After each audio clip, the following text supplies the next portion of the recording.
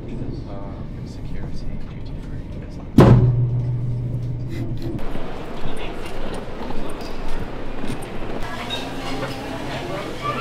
You make it no sauce or sauce Yeah, on side? do sauce on side. Perfect. Spinach, the lady sauce on the side. various things. I don't even know what else is in there. Spinach, It's small but. It's it's nice, really good. it's sweet. But it's a small one. Okay, I'll try it. Mm. No worries then, okay?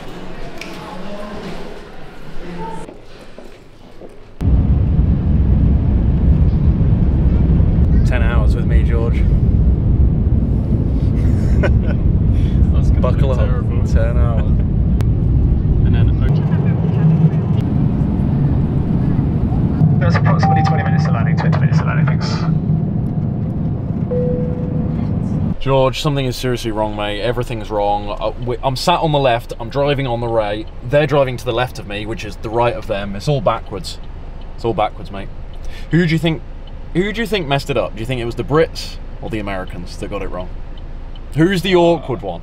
Are we doing it the wrong way, or are the Americans doing it the wrong we've been waiting at this traffic Mind you- light for about 10 minutes Yeah, now, we've been so- here for ages. We're trying to turn left. Somebody in the comments is going to be like, "Oh, you can't turn left from the traffic," but the person in front of us is trying to. To be fair, and also, coupled with this, in the UK it's midnight right now, and it's been a, an extremely long day. But apparently it's 6 p.m. and still sunny, so bit dramatic. LA, you need to.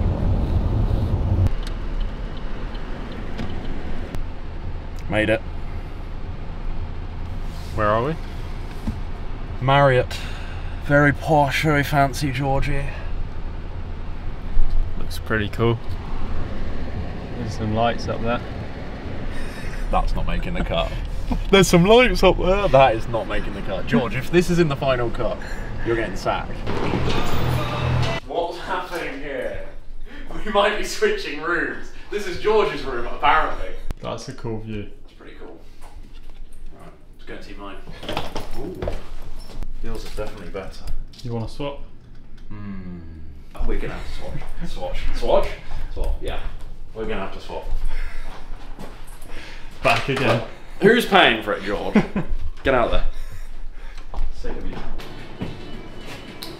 We're here. It's now 1 a.m. to us, George, but 7, 7 o'clock here. Got to our hotel. Bit of food, bit of sushi time, so yeah, let's do it. I don't get out to Salem. Yeah. Yeah. When I first moved here.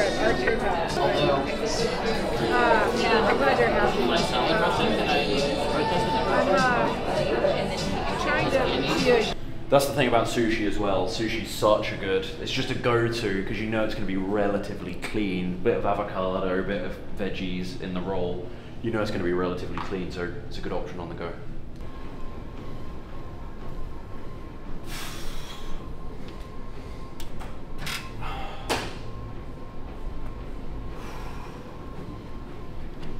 So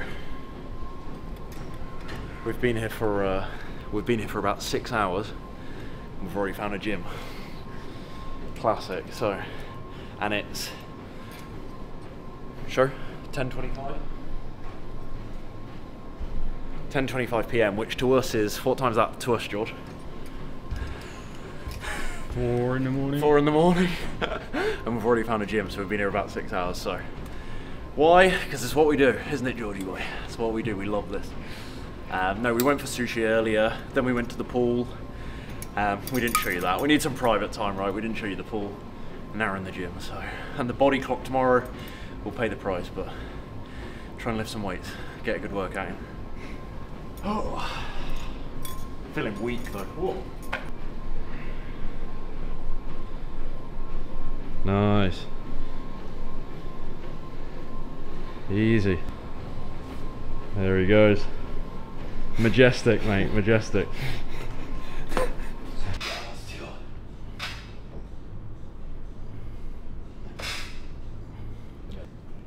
I was gonna try to at six thirty today to take a walk, but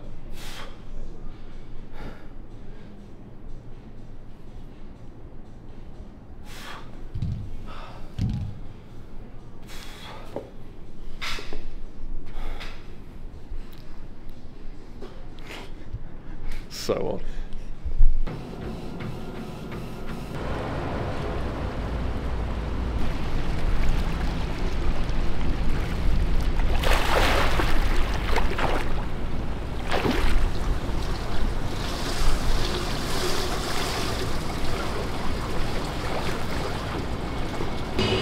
westernmost on the way.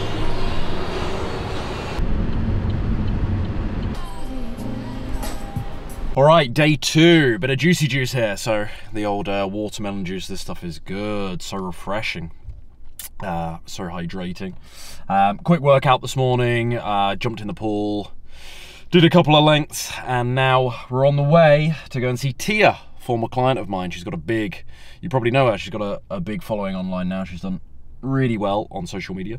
So just going to uh, actually meet her in person for the first time and uh, we'll do a bit of an interview, make a bit of content there. Probably won't show you too much of that because you can see the proper uh, interview slash podcast when it's out. But uh, yeah, it's going to be a good day. So we're gonna do my review of the um, the cherry juice. It's pretty good. Um, I had a bit. Tastes a bit like Dr Pepper, like the cherry version. Not that I drink that anymore. I think it had pineapple in as well. Pineapple. Pineapple is very, pretty good. Very exotic. Beautiful.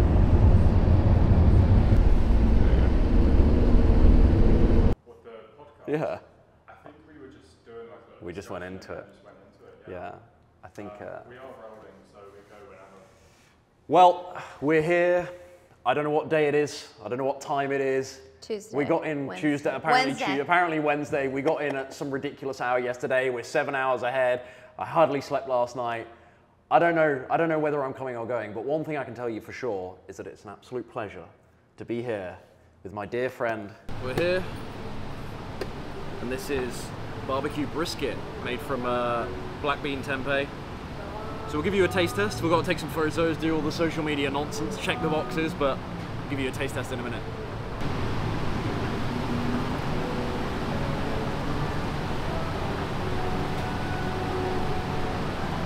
That's good, I like that.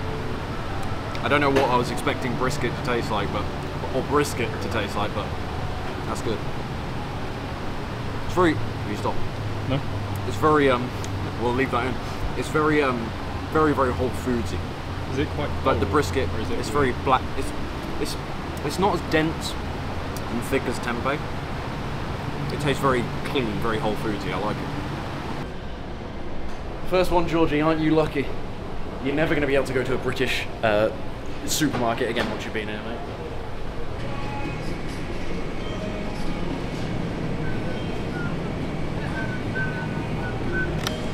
the essentials?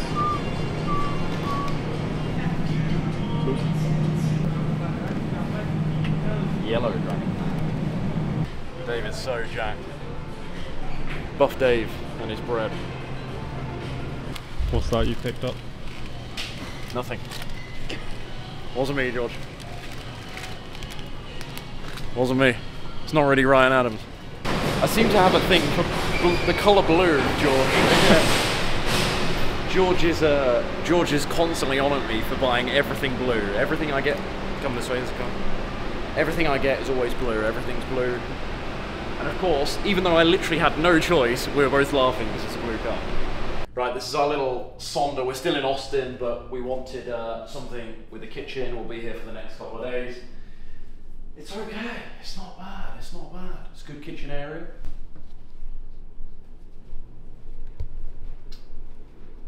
Don't look down. Don't look down. Horrible drop. One bedroom. So this is your. This is one. Supposed, this is supposed to be an ensuite, but you can't actually get to the room. They blocked it. Oh, you can. There we go. There we go. This is uh, Master Ryan's room. Master Bruce. Bruce Wayne's room. Not a bad view. Yeah, that's a pretty cool view. Got a little balcony as well. Ensuite. Cool. That's it. Home for the next couple of days. We're not always perfect, people. Not always perfect. Chin chin, as they say. Thing is, people get very tribal about the type of pizza they like, so it's got to be New York or Chicago. For me personally, I want loads of veggies on there. I want it packed. It's kind of sparse with the toppings. It's very bready. It's good, but what do you think? You agree? It's nice. But yeah, I think it needs a bit more. It needs a bit more, but uh, not bad.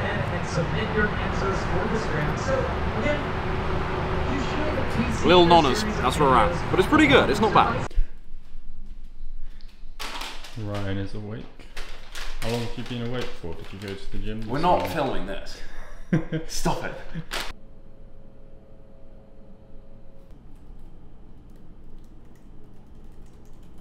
Pretty nice. Right, taste tests. Yellow dragon fruit. Let's do it. I've never had yellow dragon fruit. I've had regular dragon fruit, red dragon fruit, but never had this. So uh, let's see what the situation is.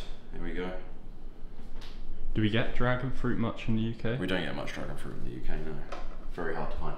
I had um, I had dragon fruit smoothies for a week last year when I was in Spain because you wouldn't think to put it in smoothies, but it's unreal. It's so good. Spoon.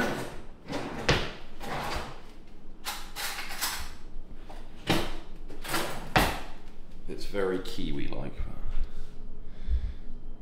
I don't know if this one is any good.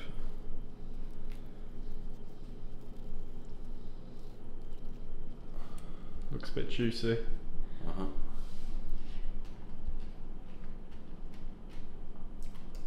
Mm. It's slightly, slightly sweeter than regular dragon fruit, I would say. Mm. The way I'd describe it is it's kiwi, but less tart, less sour. Like a sweet kiwi. Slash pear, it's almost pear-like. Yeah, I was just saying, even four or five years ago when I'd come to the US, um, and my relationship with food was a million times better, I'd lost a bit of weight by then. I would still go and go to Trader Joe's, go to Whole Foods, and get like a bag of like cookies, and still could go through a whole packet very, very easily. And this time, George and I had that pizza yesterday, which, to be honest, it wasn't. I didn't even explain what was on it, did I? yesterday, we forgot to explain. It was tempeh, seitan, a bit of vegan mozzarella. So it's not. It looked like it had loads of fake meats on it. Didn't. It wasn't actually terrible, but it's not ideal. Um, and then we had we had a cupcake each, basically, didn't we? We got two cupcakes Yeah. from this vegan cupcake place. What's it? Zucchini Kill. Yes. Um, and yeah, we had half each, and they were good actually. They were good. Peanut but there butter was jam, peanut butter and jelly one, um, and they were good. But it was like once I'd had it, I was like, yeah, that's my fill. That'll do. Then we had some strawberries, didn't we? Right after. It's like go back to fruit. That's that's just the default. So it's um, egotistically, it's very validating to see that that sort of binginess has gone. I can still sort of indulge from time to time, but that major binginess has gone now. And then we went to the gym. And then we went to the gym, so yeah.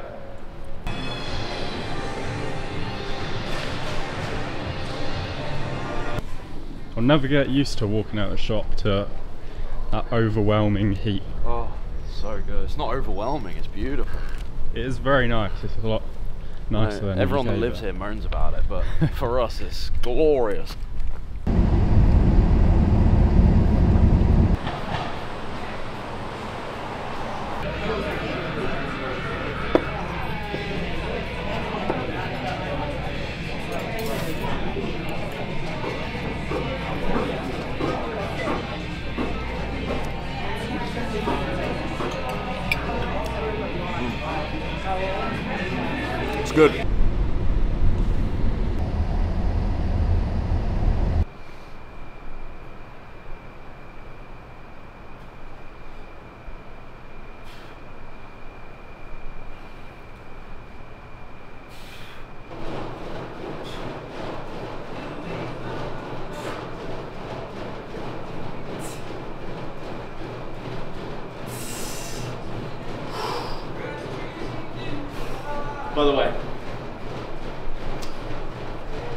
Physiotherapists are increasingly prescribing not the movement I've just done, but the movement I'm about to show you, called dead hangs for people with shoulder problems. So if you do have a shoulder problem right now, not that it's my domain, I'm not telling you to do these, but it might be worth looking at, looking into. Let me catch my breath. Dead hangs. All you're doing, you're just hanging. So it's not even a pull up, which can be really intimidating to people. You're just hanging with your arms slightly, no, about shoulder width apart, maybe slightly a further than that. And you just hang and you hold and you relax. There's no tension there. You completely relax and you just hold. For me personally, with the little bit of martial arts, a little bit of boxing, um, with lifting weights, this has 100% helped my right shoulder, which was not in tatters anyway, it's not terrible. But anecdotally for me, this has been brilliant. So I'm coming here, shoulder width apart, just relaxing, and I'm holding for as long as I can, which is maybe 30 seconds. Even instantly, you feel looser. Mixed lettuce. So we'll throw on a handful or two of that. And then got some pico de gallo. Throw that on there. A little more. And then we've got, which I'm really excited to try, this stuff here is Credo cashew, spicy cashew queso.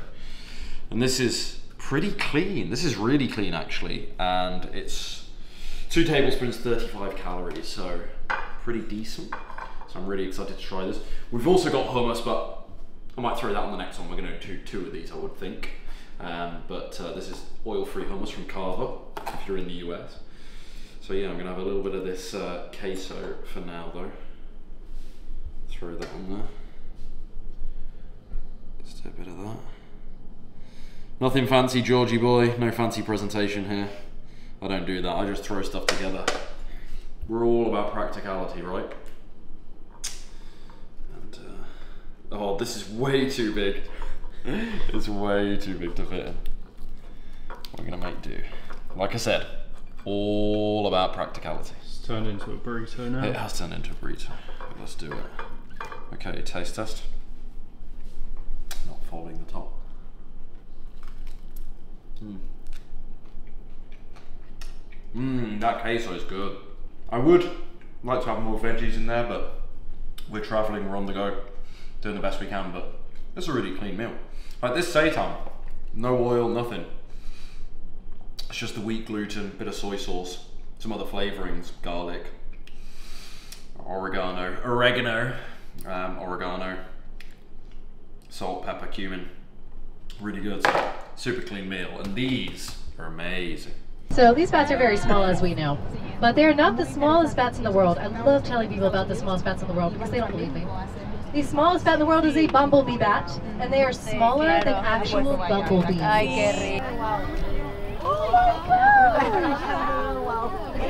I think it's cool to watch them. Oh my god, tiny. Is Bat Best. Yeah. Uh, that's very cool. But where are they going tonight? They're going to eat mosquitoes and moths. I'm very well, thank you for asking. I'm glad you're good. That was an excellent weigh in this morning, just what we needed. How do you feel about it? I know it's only one weigh in and we don't get carried away with that, but it was validating. How do you feel about it? I'm really, really Amazing. hungry. I'm really, really hungry, and we've got nothing left because we're going tomorrow. Watch that. Watch where you're going then, boy. Uh, yeah, another beautiful day here. A couple of calls this morning. Well, one call this morning. Instagram stuff now. Doing the old uh, spicy seitan wraps recipe coming soon. Well, it'll be up by the time this is out. Uh, and yeah, let's go explore pancakes. All right, day four. Uh, we saw. What did we do yesterday? We saw the bats.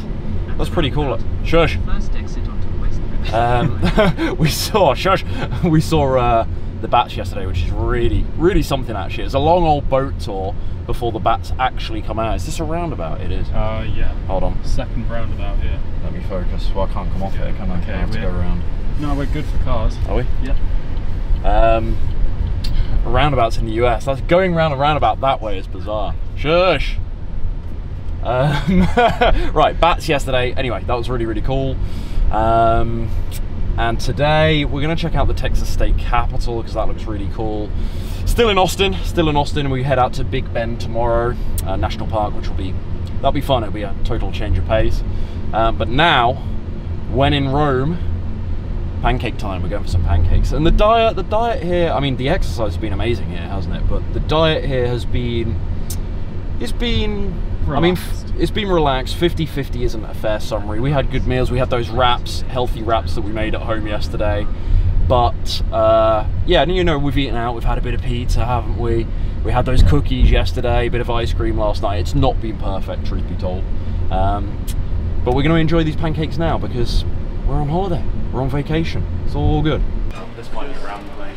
So, change of plan. Uh, pancakes. We turned up and uh, there was a 20 minute wait, and Ryan Adams. Ryan Adams doesn't wait, so we're at Juiceland again, um, which is fine because we like Juiceland. So, brilliant.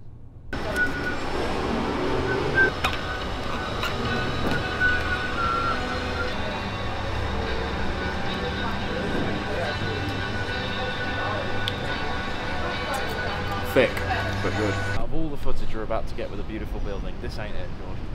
Save yourself the trouble.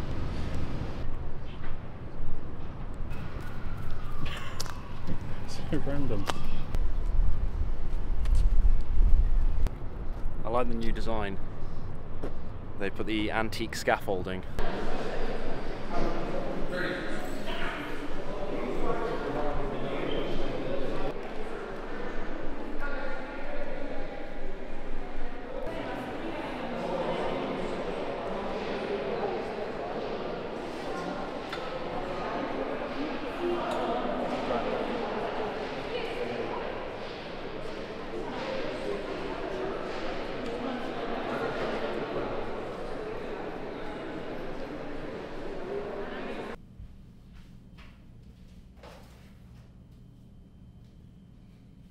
Four for fat loss I've got for you today, and what's better to start with than fresh fruit? High water content, low calorie density, lots of fiber to keep you full up for longer. Come here, Georgie boy. Show the people. Oh.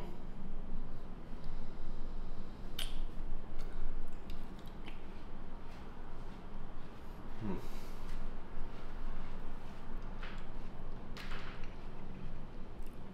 Not exaggerating. That's that might be up there. That might be top three watermelons. That is. That's really good, really sweet.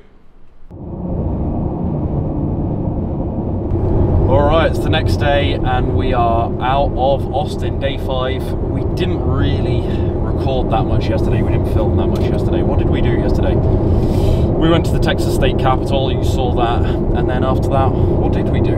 Whole Foods um, to get provisions for this trip. Now we're on the way to Big Bend, Big Bend National Park, which uh, I'm excited about. It'll be uh, some different scenery. Uh, I've got my hummus and avocado sandwiches here that we prepared earlier. And what else did we do yesterday? Tacos in the evening. They were really good, really good tacos in the evening. We're going to have to go back to that place. That was awesome. Um, so yeah, we're heading out here to uh, to Big Bend. George, ask me what the word of the day is, please. What's the word of the day? The word of the day is honky tonk. honky tonk. Do you remember what it means? Someone told us a few days ago. Do you remember what it? I knew anyway. Do you, do you remember? Uh, I actually can't remember. Disgraceful. Disgraceful. Honky tonk. I think, and I might, I might actually stand corrected myself on this, but I believe. So someone uh, in the comments, please uh, correct me here. But I believe a honky tonk is a like a, a hall or an establishment, let's say, for dancing and for all things Western US culture. But I may stand corrected on that. Honky tonk, how good is that? Here's another good one haberdashery. I said it earlier actually, I don't know if you heard me say it. You know what that means? And uh, again, I might stand corrected on this. I think it's like a just a miscellaneous shop that sells just various things. I might be wrong. I wonder if it's something to do with clothing. That's just popped in my mind as well, so I might be wrong on that. But how cool is that? Haberdashery. Well, hello, ma'am. Welcome to my haberdashery. my name's Ryan Adams. What can I do for y'all today? Beautiful. Um, what else can we talk about here, George? Look at this. The landscape change just Oh, in wow. this. We've got a what seven-hour drive today. Yeah, it's looking We're getting through it, but we've had a seven-hour drive today. Five hours left. Five hours left, so we're two hours in. And already the landscape from Austin out to Big Bend has changed a couple of times already, hasn't it? But it's lovely to see. It's nice to drive in a different place, even though I'm still not 100% used to uh, driving on this side of the road, the wrong side of the road, by the way. Um, it's it's nice to drive in different areas and, and see things. Our people as the top priority is committed to safety.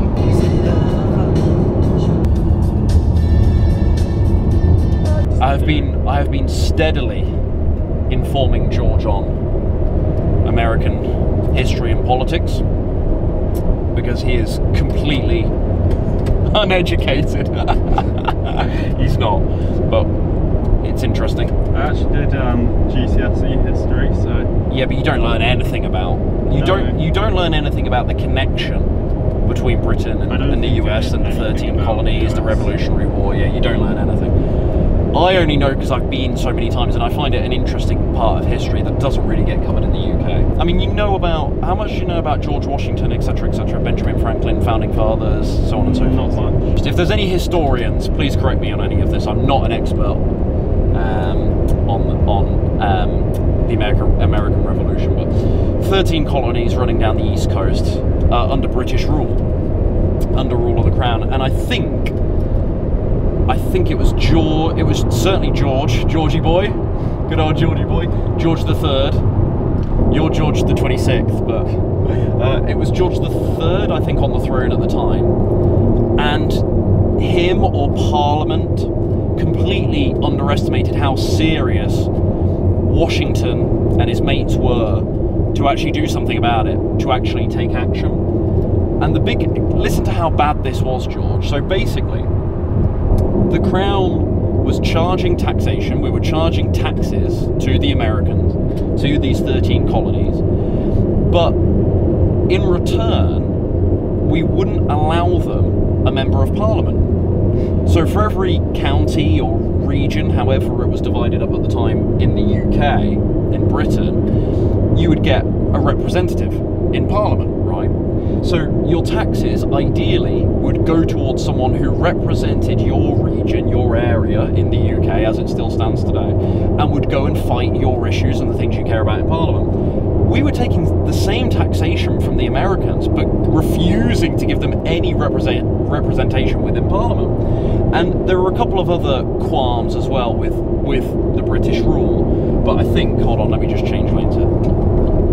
I think that was uh, I think that was the main criticism anyway, and that was the main problem. And they did come to us and they did say, look, we're gonna we're gonna need something. We're gonna need something here. We're gonna need someone to to represent us here, or maybe ideally, as it probably should have been, a member of parliament from each of the 13 colonies. I think that probably would have only been fair, um, and we refused. And George slash Parliament and or Parliament I'm sure there were factions of, of British Parliament that were sensitive to, to the American cause, actually. I'm sure it wasn't everyone was just completely oblivious and ignorant and self centered with it.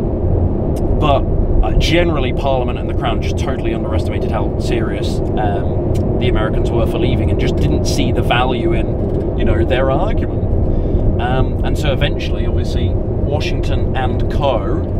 thought, sod this, this is no good. We're gonna have a bit of a we're gonna have a bit of a scrap with you here. So it did start amicably, and there were negotiations and that sort of thing, and they did go to the Brits and say, "What can we do here?" But uh, yeah, how bad is that? So we were charging taxes, but with we weren't allowing them any say in anything. Terrible. It's completely unfair. So yes, obviously we didn't want all the bloodshed that came with it in hindsight, but those were the times. Um, but uh, yeah, it, I suppose it had to come to that.